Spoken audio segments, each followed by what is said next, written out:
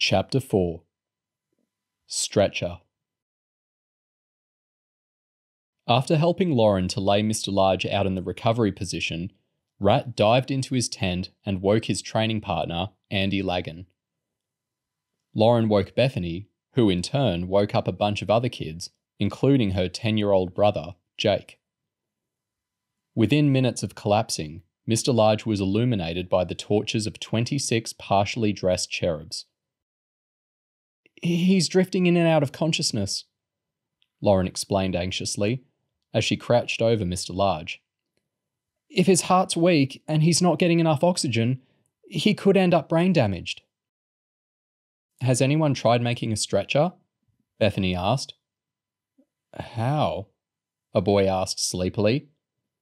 Use your initiative, Lauren tutted. Tent fabric, tent poles, branches, whatever. You're supposed to be trained cherub agents. I'm asking you to rustle up a stretcher, not build a time machine. Jake interrupted. We all hate his guts. Do we even want to save him? Don't be a tittle your life, Bethany said, flicking her brother's ear. He may be a scumbag, but we're not going to stand here and watch a man die. Shouldn't we be giving him the kiss of life? Rat asked. Lauren shook her head. His breathing is okay, and his heart is beating. I think he's just gone into shock.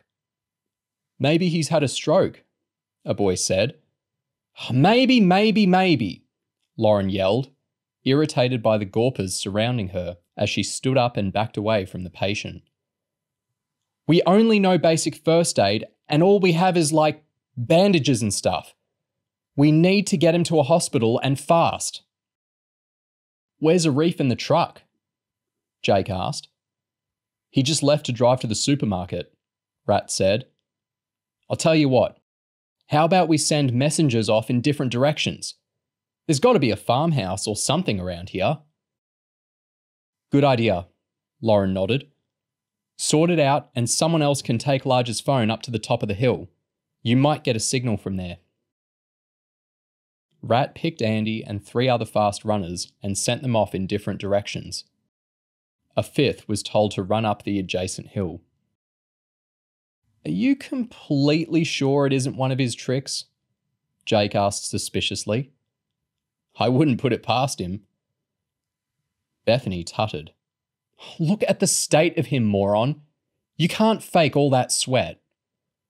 What if he took a special pill that made him go queasy or something? Jake, you're not helping, Bethany shouted. And you're starting to wind me up, so why don't you get out of my face before I deck you? Try it, Jake sneered. I might be little, but I'm harder than you. Oh, you reckon? Bethany sneered back, giving her brother an almighty shove. The crowd moved aside as Jake lashed out at his sister. His boot connected with her thigh, but his fist swished past her nose, missing by millimeters. Bethany grabbed her brother's flying arm and twisted it up behind his back. She took the elastic waistband of his tracksuit bottoms with her other hand, hitched him off the ground, and slammed him down on his belly. Whilst Jake was still winded, Bethany straddled him and sat across his back. Yeah, Jake, you're so hard, she yelled jubilantly. Lauren was furious.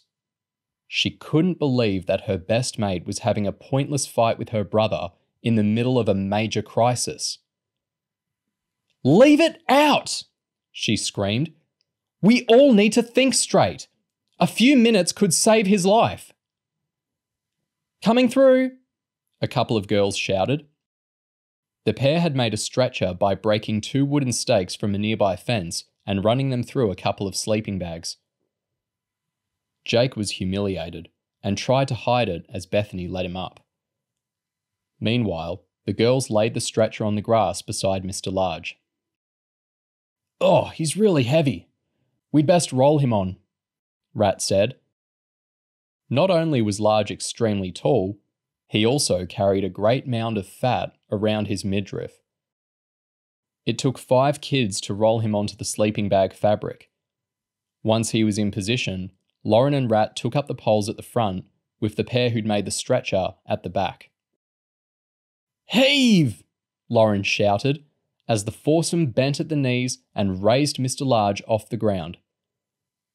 Some of the other kids realised that they were struggling and took part of the weight by grabbing the poles along the side. Oh, he stinks of booze, someone complained. Oh, which way? Rat groaned.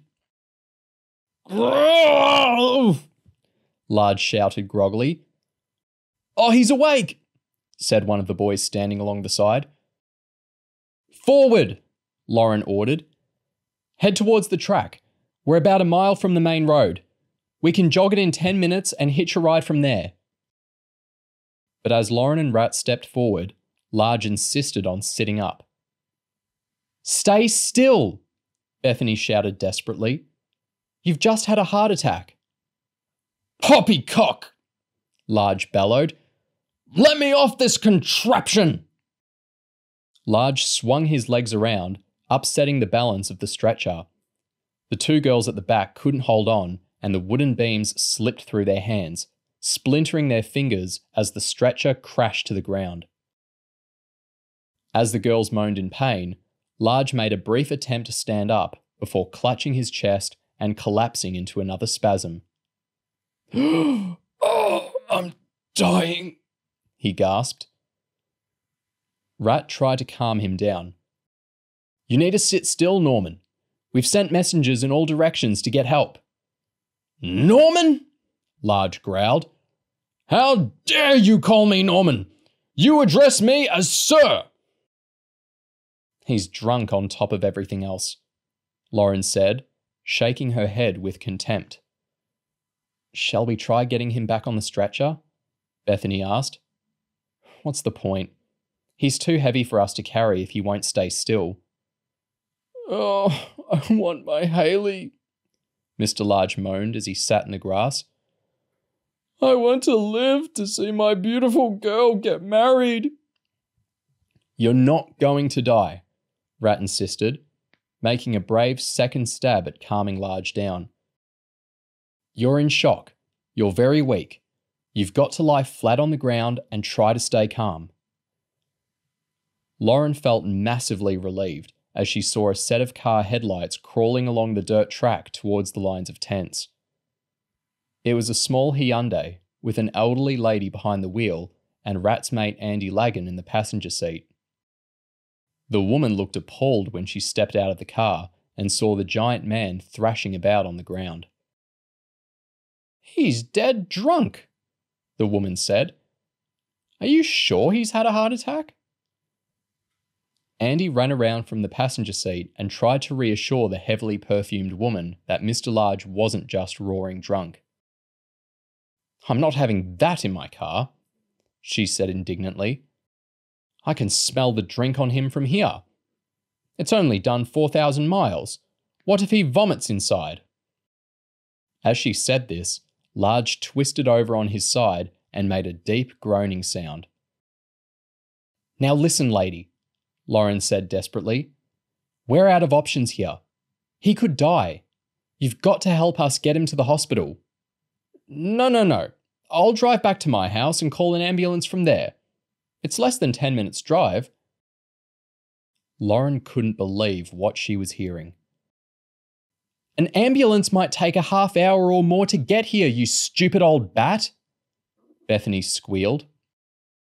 Lauren looked at Rat and pointed towards Mr. Large. Get him into that car. Hold on, young miss, the old lady yelled. I'm not taking orders from you. I'm not driving that man anywhere.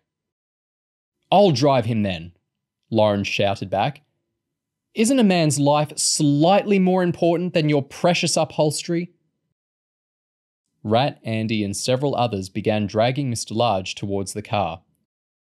The woman turned to go after them, but Lauren grabbed her willowy arm and pulled her back sharply. I'm truly sorry, Lauren said as she saw that the elderly lady was frightened and close to crying. It was odd that she'd been kindly enough to stop her car for Andy and drive to their aid, but now seemed more concerned about her car than Mr. Large's life. Lauren guessed it was just that she was old, eccentric, and not up to handling stress. Come on, Lauren said, trying a gentle attack as the lady struggled to free her arm. We need your help. Can you tell us the way to the nearest hospital? But the old woman screamed and made a desperate sobbing noise, which made Lauren feel absolutely awful. The two girls who'd built the stretcher grabbed her flailing arms and tried getting her to calm down. With all the madness going on, Lauren hadn't noticed another messenger driving inside a BMW. The wax jacketed driver emerged, holding a leather bag of the type usually carried by doctors. What is this? Lord of the Flies? The man said, shaking his head as he surveyed the scene. Are you a doctor? Rat asked. A vet, I'm afraid, the man explained. He knelt over Mr. Large and grabbed his wrist to take a pulse. His heartbeat is extremely weak. Will he live? Rat asked. Depends upon a lot of things, the vet said, as he reached into his pocket for his car keys and dangled them in front of Andy. Two of you lads go around to the boot of my car.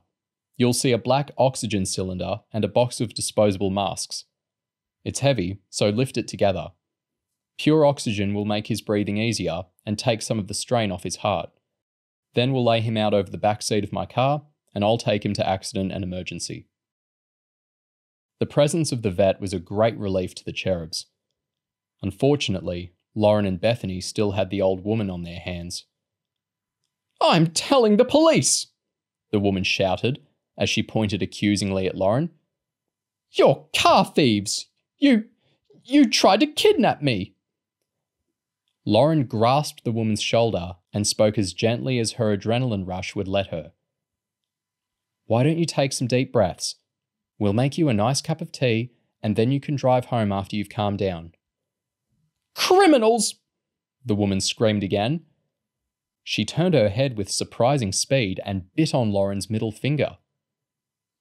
Lauren instinctively ripped her finger out of the woman's mouth.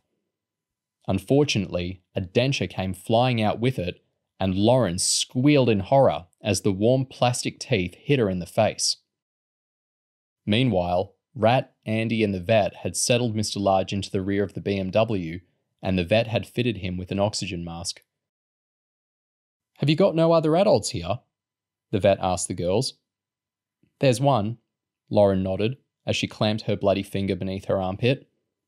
But he's gone into town to buy groceries. I expect he'll be back pretty soon.